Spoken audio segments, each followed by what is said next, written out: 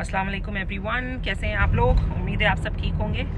मैं बस अभी बाहर निकली थी। आज मुझे थोड़े से काम थे बाहर तो बस बाहर से और उसके बाद शाम में कुछ गेस्ट आ रहे हैं। तो मैंने पहले सुबह उठ करके उन सब की चीज़ों की तैयारी की और अब बस अभी अपना काम करके फिर मैं वापस घर जाऊँगी और इन ताला फिर दिस चर्च अच्छा लग रहा है।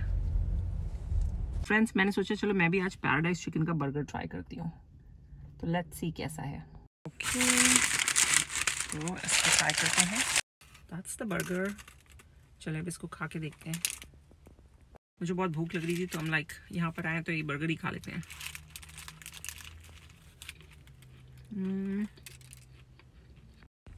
इट्स एक्चुअली गुड मज़े का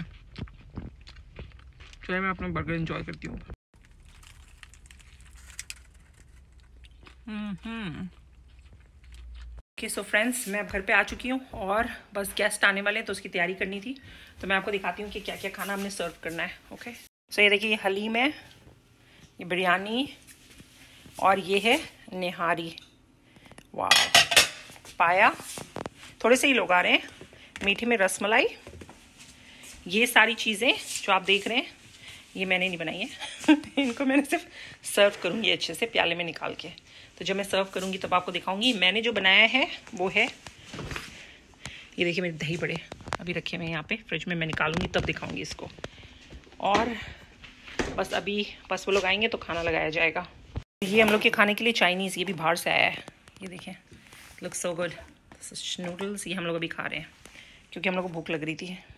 यान के बॉक्सिंग ग्लव्स आ गए, यार मुझे ट्राई करा रहा है। ठीक से। ओह कैसे ओह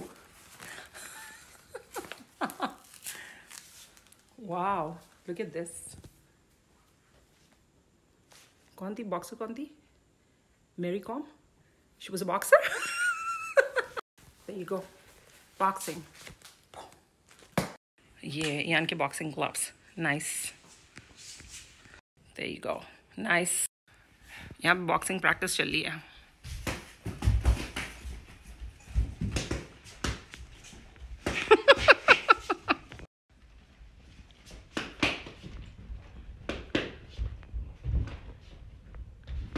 बस हो गया बस हो गया।